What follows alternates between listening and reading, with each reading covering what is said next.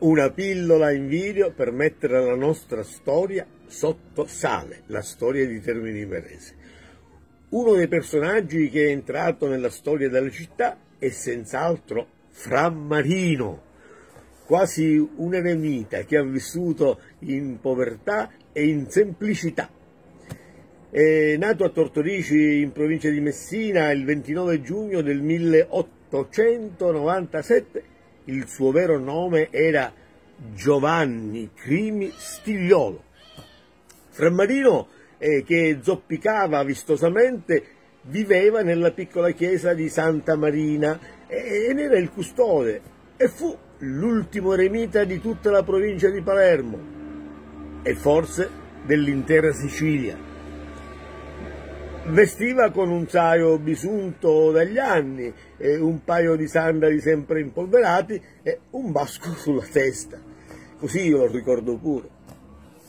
Il padre, mm, che faceva l'agricoltore, si trasferì da Tortorici a Termini Merese in cerca eh, di migliore fortuna, portando oh, dietro tutta la famiglia composta dalla moglie e dai suoi tre figli. Eh, Giovanni era il più grande.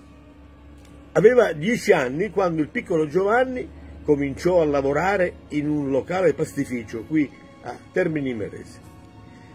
A 22 anni al giovane pastaio Giovanni Crimi Stigliolo successe un grave incidente di lavoro. Eh, la sua gamba sinistra rimase impigliata negli ingranaggi della macchina e dopo tante cure si ritrovò con la gamba bloccata e non poté più lavorare.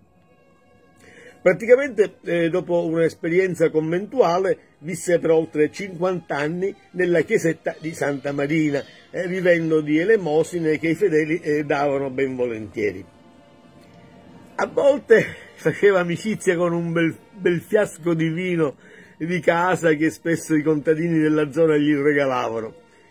E qui gli effetti sono facilmente intuibili. Fra Marino, eremita termitano, morì qui a Termini il 27 novembre del 1985 ed è sepolto nel nostro cimitero. Fra Marino, che portiamo sempre nei nostri cuori, ha dimostrato che abbiamo bisogno di molto poco per vivere e sentirci in pace con noi stessi e col prossimo.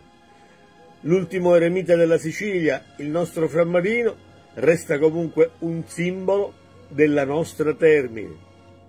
Ma c'è ancora tanto da raccontare in questa Termini che al momento e solo al momento mettiamo sotto sale.